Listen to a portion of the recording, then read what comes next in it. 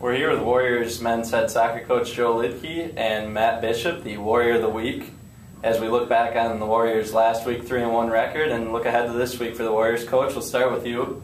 Uh, three game winning streak over the weekend following a, a tough loss to Beloit on Tuesday night, but just talk about how your team responded and then the three game winning streak a little bit.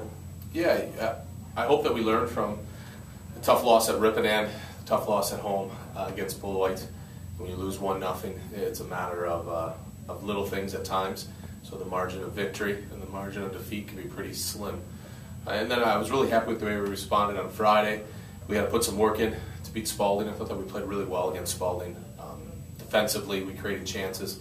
The scoreline doesn't necessarily reflect, um, I guess, the how we played against them. And then Saturday against Marian, I think up to this point, that was our best performance as far as uh, how we kept possession of the ball, how we attacked. I really thought defensively we limited uh, Marian to um, you know to just a few half chances here and there, and then to be able to go to Eureka and have everyone play, score some goals, uh, and feel really good about ourselves was a really good way to end a tough stretch of games. No, Matt, you had a goal in each of the Warriors' wins. You had 11 points last week, four goals, three assists. Uh, does it seem like the offense seems to be hitting its stride a little bit? Uh, things clicking a little bit more. Are you guys finally getting used to each other? Y- yes and no. Um, there's definitely some things we always have to work out and some communication problems, but um, it, it all starts from the back and us defending as a team and winning the ball and just creating chances and finishing them. Now, Coach, you talked about the Marian game a little bit. Another big conference game tonight. Uh, you guys host Edgewood a team always seems to be in the thick of things as it comes to the conference tournament. Talk about tonight's game uh, for your team.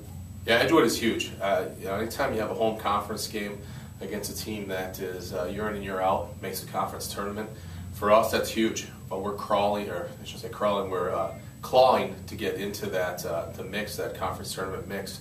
So for us, this is big, and all of the games for our team are huge. And, and for us, it's a matter of coming out and, and wanting it and working hard. Uh, and like Matt said, it, it, really does start with us, uh, how we defend together as a team. Our defense starts our offense, there's no doubt about it. And Matt, give us give us some keys, some of the things you guys have been working on as, as you go into this big conference game tonight against Edgewood. Um, one of the biggest is definitely our defensive shape and our uh, work rate. Our uh, our work rate work rate is probably one of the best out of a lot of teams, and that's what sets us apart from most of them. Is we we have bigger hearts and we just want it more than them, and uh, we just put it on the field and leave nothing out. All right, once again, we're here with uh, Warriors head coach Joe Lidke and Warrior of the Week, Matt Bishop. The Warriors host Edgewood tonight at 7 o'clock, and the Warriors will also host MacMurray on Saturday at 3.30. Thanks for joining us, guys.